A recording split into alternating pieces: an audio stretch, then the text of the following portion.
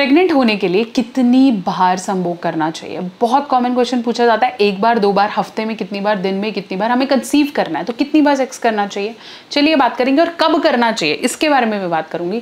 Channel पे नए हैं सब्सक्राइब कर दो और ऐसी बहुत सारी वीडियोस के लिए कनेक्टेड रहो।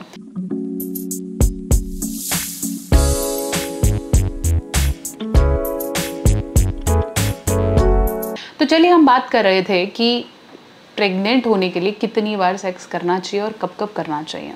देखिए, अगर आप कंसीव करना चाह रहे हैं, है ना, आज से कंसीव करना चाह रहे हैं, मान लो आज महीने का पहला दिन है तो सबसे पहले ये देखो कि आपकी वाइफ का प्रेगने पीरियड्स डेज़ क्या है।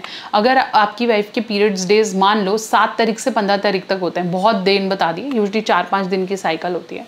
मान लो हम सात से पंद्रह तारीख तक की भी डेट लगा रहे हैं तो पंद्रह तारीख आपको पता है कि पंद्रह या चौदह तक उसके पीरियड्स खत्म हो जाएँगे तो उसके एग्जैक्टली फोर्टीन डे आपका शायद हाई ओव्यूलेशन डेज़ होगा। बेसिकली आपको ओव्यूलेशन डे का ध्यान रखना है। अगर आप ओव्यूलेशन डेज़ के आस पास सेक्स परफॉर्म करते हो तो कंसीव इंस्टेंटली होने के चांसेस हैं।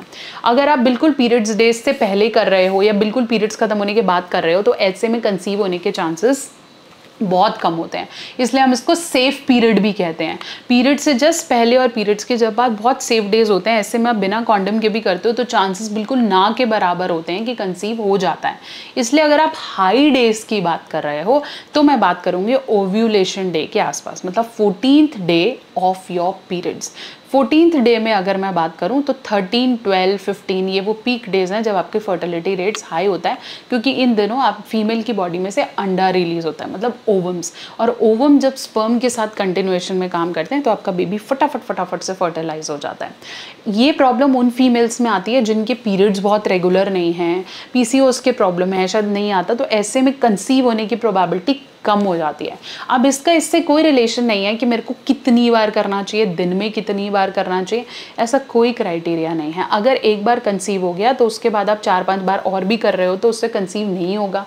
मोर अगर आपने ओव्यूलेशन डेज़ के आसपास ही नहीं किया और आप बाकी दिनों में पाँच पाँच छः छः बार कर रहे हो तो भी कंसीव नहीं होगा। इसके लिए मार्केट में ओव्यूलेशन किट्स भी आती हैं। ओव्यूलेशन किट्स में आपको एक टेंटेटिव डेज़ जैसे आपको पता है कि पीरियड्स मेरे पंद्रह को ख़त्म हो रहे हैं तो मैं ट्वेंटी एट ट्वेंटी नाइन को अपना सुबह मॉर्निंग का यूरिन उसमें डाल दूँगी। तो जैसे ही डालूँगी तो मुझे पता चल जाएगा कि आज मेरा फर्टिलिटी रेट कितना हाई है। उसके अंदर पैरामीटर होता है कि इससे ज़्यादा ग्रीन ब्लू पर्पल तो वो आपको पता चल जाता है कि हाँ उन दिनों मेरा हाई है और उस समय आप ट्राई कर सकते हो कंसीव करना। मोरोवर आप कैलेंडर मेथड के हिसाब से मतलब दिमाग में डेज़ कैलकुलेट करके भी कर सकते हो। उन दिनों पे किया हुआ कंसेप्शन दो तीन बार, दिन में दो बार, तीन बार करा हुआ या एक बार भी किया हुआ कंसेप्शन मैक्सिमम चांसेस देता है कि आप डेफिनेटली आप कंसीव कर पाते हो। मोरोवर जितनी हेल्दी मदर जितनी वो खुश है, जितना उसकी उसके अंदर आपसे रिलेटेड प्रेम है लव है, बच्चा करना चाहती है, जितना वो मेंटली प्रिपेयर होगी, उतना ज़्यादा कंसीव होने के चांसेस बढ़ जाएँगे।